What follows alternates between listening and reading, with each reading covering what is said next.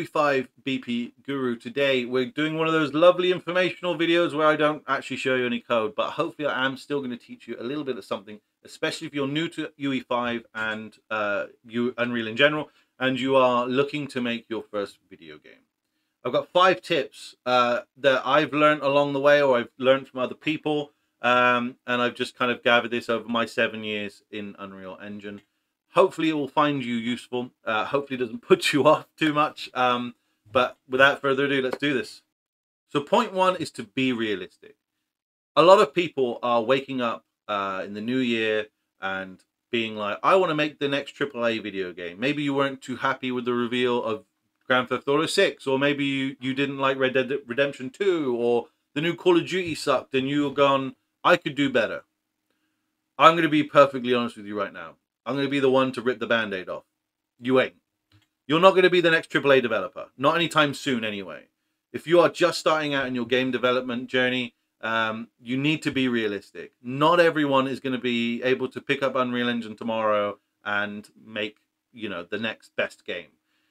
Your first game's probably going to suck, and no one's going to like it. And I, I'm, I'm guilty of that too.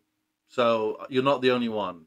Um, so be realistic think of something smaller, think of something unique, and uh, if you're serious about it, um, just just take your time with it. Take something small, a small idea, and make that first, and um, then make something else. I know a lot of people should really, in theory, try and make Pong first. It's such a simple game, and if you can make that, then you can move on to a Lynx Mark 8 helicopter and keep improving until you make um, the game that you want to make. It's it's everyone's got a dream game. I have a dream game. Uh, it's taken me seven years to learn everything I need to know to make my dream game, and I'm still learning. So be realistic with your um, uh, your ideas, as I say, and, and just know you won't be a AAA developer straight out of the bat. You're not going to pick up a tutorial series and make Grand Theft Auto 6. It's, it's just not going to happen. So be realistic, and you'll have a far better chance of going further in the game development uh, space. This brings me on to point two, uh, one skill I think that is super important for everyone to know. If you can master this skill, you'll go really far in the uh, game development world, and that is to problem solve. There are so many people that I uh, speak to on a daily basis uh, that are amazing at what they do, but they struggle to problem solve.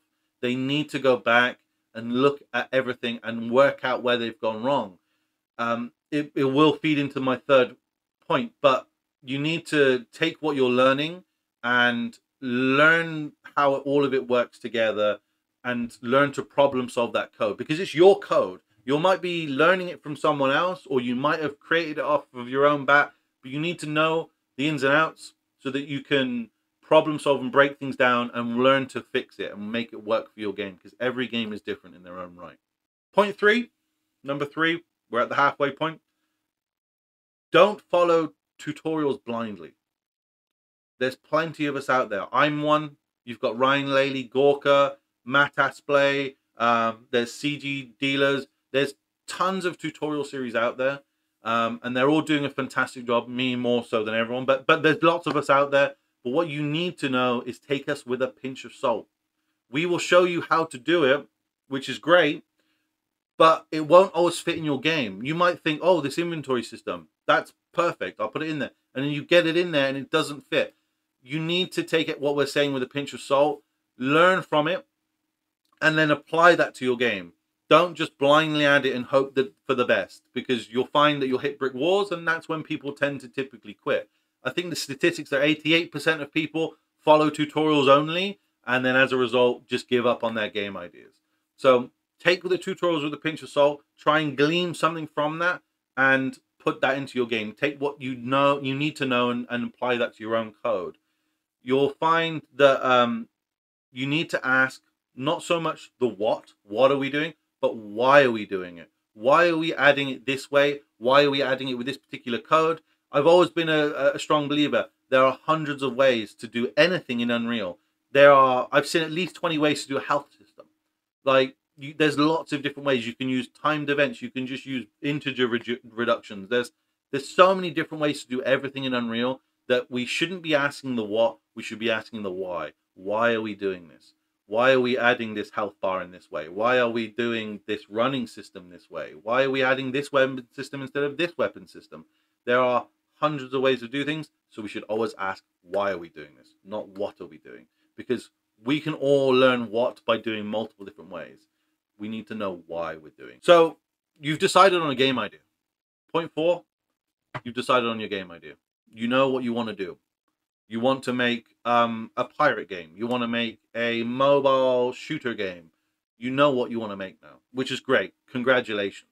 What you need to do now is break that idea down. Before you open Unreal, before you open up Unity or Godot or whatever you're going to use, before you open it up, break it down. What do you need in this game to make it a reality? What are the mechanics going to be? What are your systems going to be? Do what artwork, what level design do you need? You need to plan everything out. I see too many people not planning anything out and they fumble. They fumble through their game development. I had uh, a gentleman join my Discord. He told me he was making a game about you play a siren. And I was like, wow, that sounds really cool. Okay. And he went away and he was trying to do the multiplayer, he was trying to do all this thing, and he hadn't broken anything down. I asked him, what have you broken down? What were the key points of your game? Um, what systems you need in place? And he couldn't tell me. So I said, go away, think of it. Do, tell me what you come back to me with your answer, basically. Comes back, I'm making a pirate game now. You make ships. Okay, cool. It's different. Fine. Okay, fair enough. What have you broken down? Oh, I haven't done that. So you've just changed your idea completely. So you're fumbling. You're just you're not getting anywhere because you're not you don't know your path. You need to give yourself time. And you need to break it down. Before you open up Unreal, before you open up these engines, break it down. I need this locomotion, I need this weapon system, I need this inventory system. I need these kind of NPCs. I want this kind of layout for my land. I know this is the main mechanics of the game. We're going to be a pirates. We're going to be on a ship. We need to be able to shoot the ship. We need to be able to sail the ship.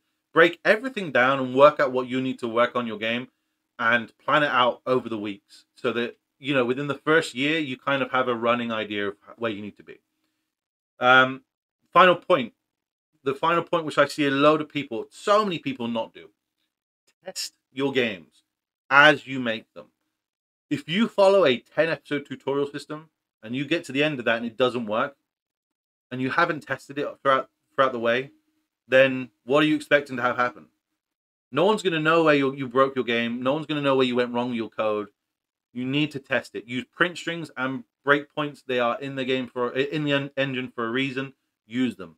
They will tell you so much information by just adding them in where you're going wrong. Whether you're using a data table and you put on the the not found row row, that will tell you that it didn't find the row in your data table. That way you know you can go back and you you have an area to look to problem solve. It all feeds in. These points feed into one another, by the way.